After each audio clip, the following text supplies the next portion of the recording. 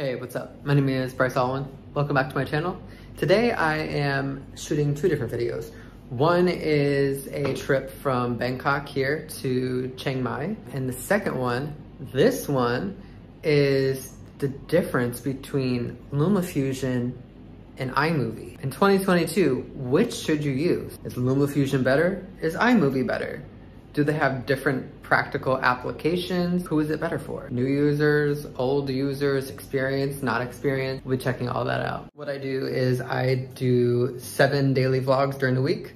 At the end of the week, I collate everything and I put it on my main channel as a professionally edited video. Most of the videos on my vlogs are strictly unedited. The only things that are edited out are personal information and if somebody's acting a fool in public. We don't want to necessarily always expose people, but if they need to be, you know, it's there. The trip today though is supposed to be, supposed to be nine hours and 30 minutes. This one's supposed to be express, so it's not supposed to be making stops.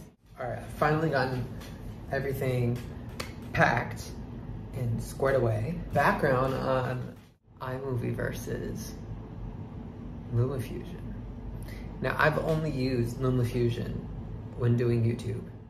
I, I really never considered iMovie because it was so old school and antiquated. It, it hasn't changed in years.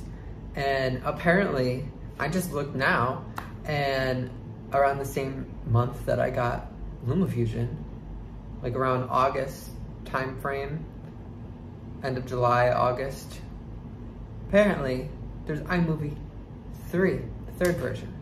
So that's what I'm gonna be comparing today. Um, LumaFusion is not free, it's 30 bucks. And then there's add-ons within LumaFusion that also cost money. So you can't use the music, you can't use the sound effects. It's called storyboards. Those cost money. There's like maybe three or four in each category that are free. They're not great. And the lady's announcement voice comes over and is like, LumaFusion or like storyboards. And it's like, you, you just ruined it. All right, so in this first screen recording, what I was trying to do is show how you would edit in iMovie on an iPhone. Most people have an iPhone. However, what you notice off the bat, you can't see the bottom of the screen. Since I recorded it in portrait mode, for some reason, it doesn't allow you to zoom out and see the full video. So I'll show you what the controls look like on the bottom with a screenshot. So this is the screenshot. This is another weirdo thing. It doesn't let you add this the full screenshot. So I had to crop it in to get rid of the top video. And what it does is it pans from left to right. Doesn't make you stop panning. It doesn't let you zoom out. Doesn't do anything. Another weirdo quirk of using iMovie, I guess. Alright, now let's dive into how to actually split a clip, delete the part you, do, you don't actually want to use in your main video. So what you would do is you would hit edit. And once you hit edit, underneath the timeline, you see three little boxes that come up. The middle one is the one that splits it in half. The one on the right, what it does is it keeps everything up until that point and deletes everything after it. The one on the left keeps everything after that point and deletes everything before it. Now the easiest and simplest way is to use the middle button. It splits it in half. You would then play the video, go to the part that you want to edit out, click split again, right in the middle, and you touch the, the whole clip. So now you have its own separate clip. You touch the whole clip and hit delete.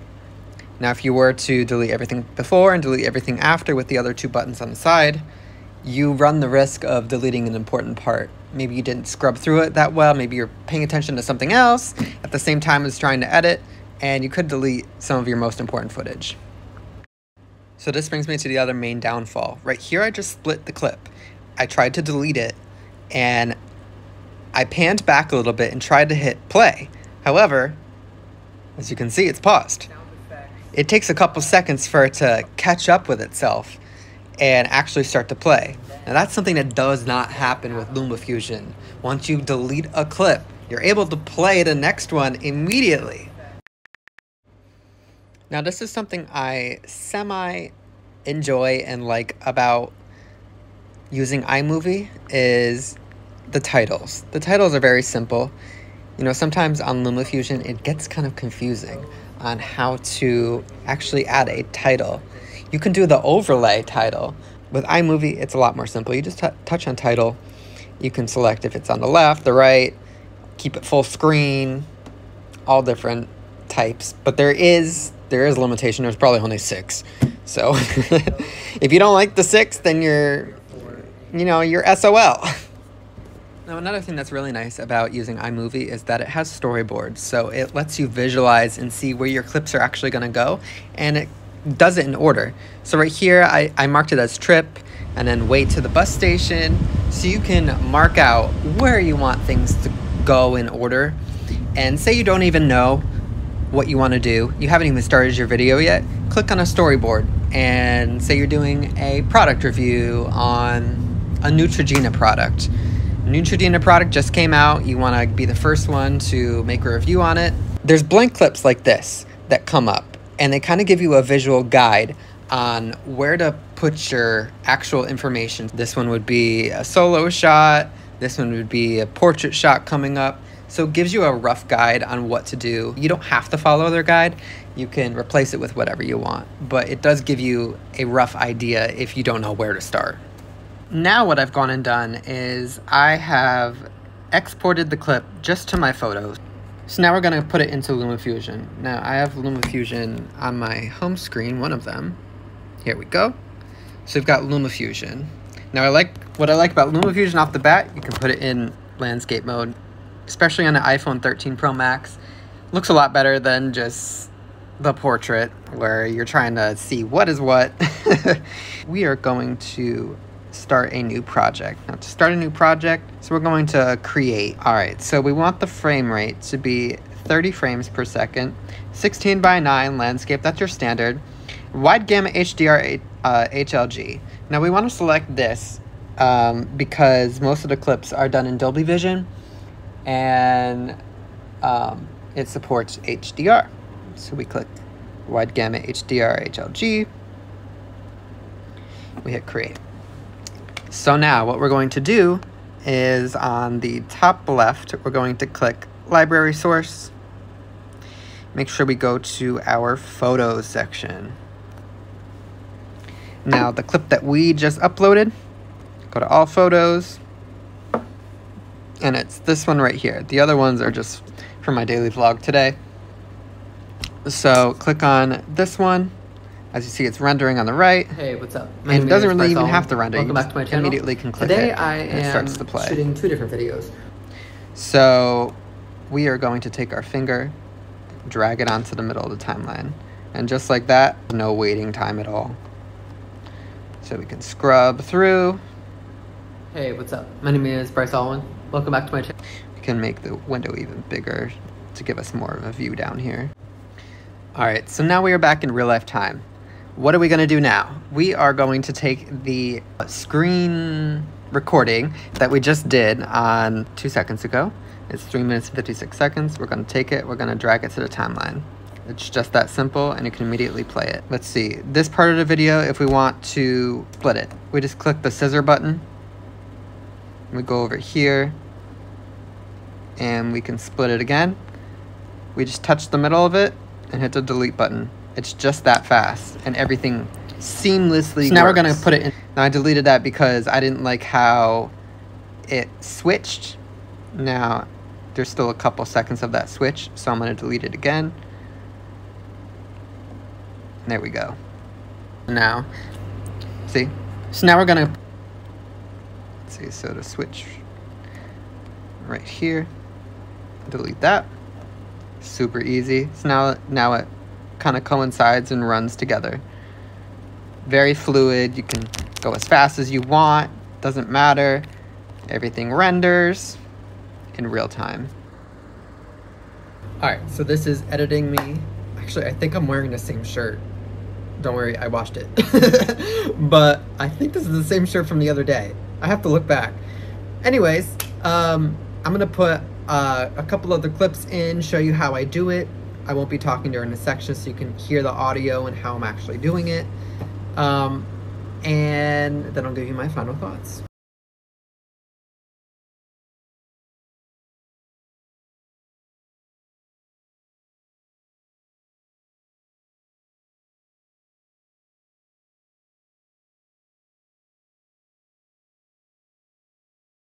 Alright, so this is editing me. Actually, I think I'm wearing the same shirt. Don't worry, I washed it. but I think this is the same shirt from the other day. I have to look back. Anyways, um,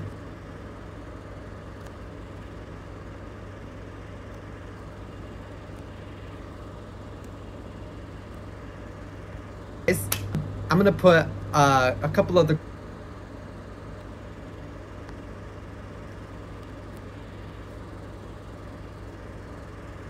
put a, a couple of the clips in, show you how I do it. I won't be talking during the section so you can hear the audio and how I'm actually doing it. Um,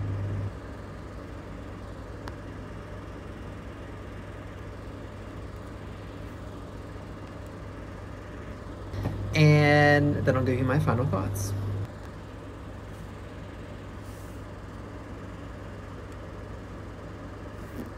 Now, one thing that I did forget to show you is in iMovie, something new to come to the third version is called Magic Movie.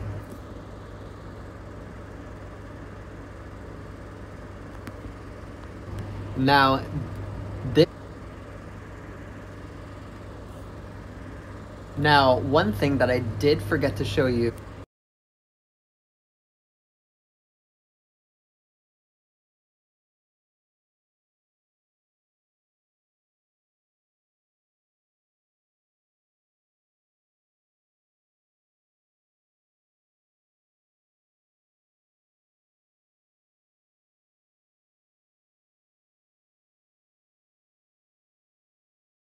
magic movie.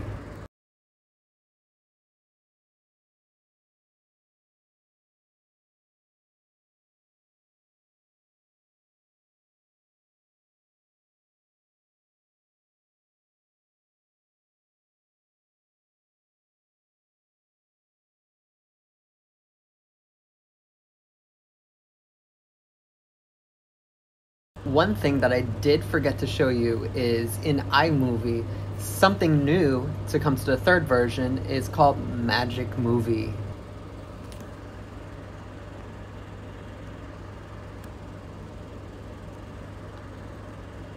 It's called Magic Movie.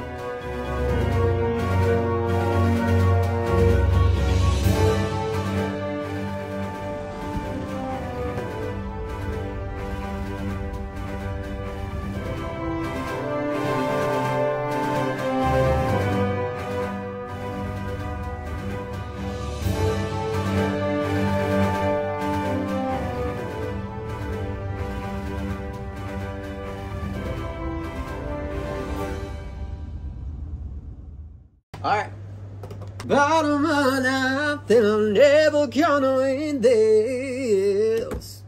AKA my final thoughts. So, who is LumaFusion for? Who is iMovie for? Well, to me, it's pretty cut and dry who wins. It's LumaFusion that wins for editing. It is iMovie that wins for making trailers. If LumaFusion was able to incorporate an AI system similar to iMovie, where you can select all the clips, it'll take the best clips, the fastest moving motion, integrate music with it, you don't have to pay for the music, you don't have to pay for the sound effects, then it would be out of this world. Now, as it sits right now, it is still far superior to iMovie. There is no lag time. Very, very little have I ever experienced lag. The only thing that does happen on the iPhone is it does get a little hot when you're uploading. Now the upload speed for LumaFusion very dependent on your quality. You can either set it to ultra, standard, economy. Really depends how fast your upload speed is. Are you using Wi-Fi or are you using cellular? Personally, I'm in Thailand. I have TrueMove as my provider and I get about 300 download on average. I'm supposed to get a gigabyte, but you never get a gigabyte. My upload speed is normally around between 100 and 500, I've seen it. So it uploads a lot quicker than any of the Wi-Fi here. I haven't even used or touched Wi-Fi in the last month, to be honest with you. Yeah, I've blown through almost 400 gigabytes. 400 of data just uploading videos. Luckily, I have unlimited, but imagine if I didn't have unlimited. Even in the US, they charge like 15 bucks per gig. 15 times like almost 490 something gigabytes. That's a lot of money. I digress. So, I hope this video was useful in the end. I do recommend LumaFusion for anybody that wants to start on YouTube. It's very simple to use. You can do it right from your iPhone. Shoot everything on your iPhone on the native app, and then as we saw, you just tap, drag it in. Super easy. Longest part, honestly, is the upload. You know, you got to sit there and wait. The one bad thing about LumaFusion is it has to stay in the foreground. You can't go out of the app, otherwise it screws everything up. So it's got to stay in the foreground while you're uploading things. Now, iMovie is great for making trailers for your videos. So what I would recommend is edit everything on LumaFusion. All the individual clips, keep them. Don't don't even bother saving the LumaFusion video as a big long video. Individually select all 40, 50, 60, 70 clips and make a magic movie in iMovie. Post that in whatever social media app. The more clips you add, it takes forever for iMovie to analyze. So it could be sitting there for an hour, but you know, if you got time to kill, plug it in at night, select all your clips. By the morning, you'll have your trailer. It's the only downfall. you know, the shorter clips, it's really easy. Another way you could do it is maybe do 15 at a time, make a magic movie, do another 15 at a time, you can join them. And then you can do your trailer that way, breeze through it. But I hope this video was somewhat helpful, gave you a little background on both of them, user experience, and kind of like a basic tutorial of how to start a YouTube channel and start uploading videos. You know, you really just got to get out there, upload videos, find your niche. You know, I haven't found it yet. Yeah, I might have found it on TikTok, I might have found it on Instagram now I'm delving into the world of YouTube, which is a complete different animal with the algorithm. It changes like the wind. It's changed. so don't forget to like this video if you found it useful. Subscribe, that really helps me with the YouTube algorithm. Um, and I'll see you in the next video. Peace.